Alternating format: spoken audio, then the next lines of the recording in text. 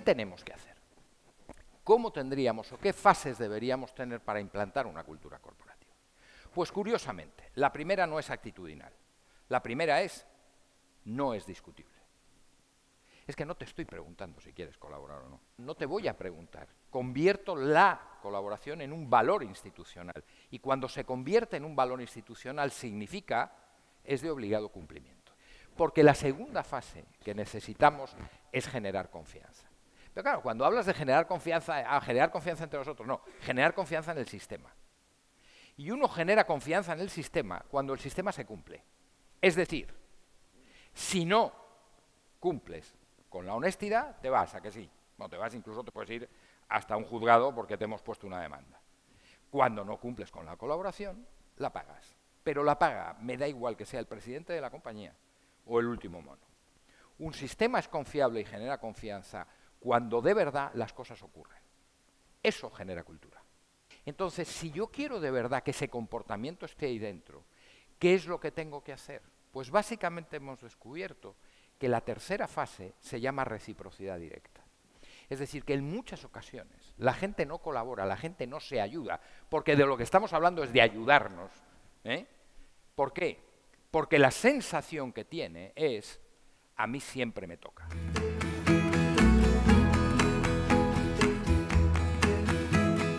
Cuando hagamos eso, realmente lo que podremos hacer en una cuarta fase es subir a la parte de arriba a los más colaboradores. Es decir, hay que hacer una selección multinivel en el sentido de que arriba, por eso el desarrollo de carrera profesional es muy importante en este sentido, está en gente que asume la colaboración como parte del reto. Y por último, si somos capaces de llegar a ese extremo, llegaremos a una última fase que aún es más fascinante, que es la quinta y que se llama reciprocidad indirecta y que está basada en la reputación.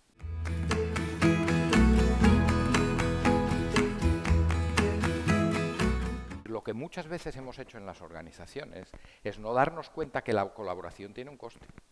Es que si ese informe que este compañero mío tiene que entregar al consejero delegado, yo me sentara con él y dijera, un momento, a ver, ¿quieres toda la información que yo tengo?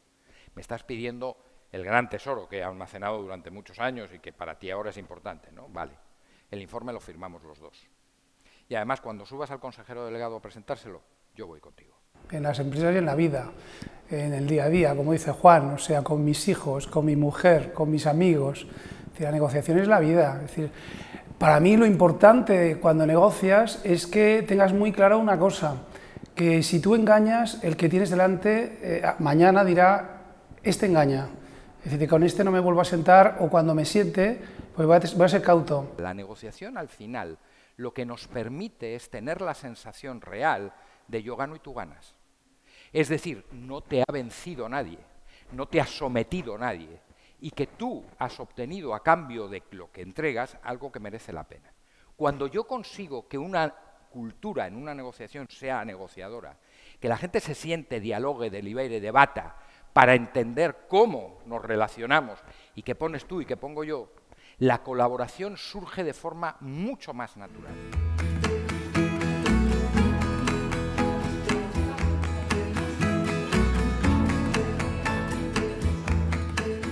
La organización estaba en un momento que requería muchísima transformación a nivel cultural y vimos la oportunidad con una encuesta de clima para hacer un cambio muchísimo más profundo que nos permitió implicar a toda la organización mediante voluntarios y realmente iniciar un proceso de abajo para arriba realmente transformador. Los pilares sobre los cuales trabajamos fundamentalmente eran tres, a partir de esos tres establecimos 12 grandes proyectos, pero realmente el que más eh, marcó la diferencia y donde estamos ahora focalizados es alrededor del liderazgo.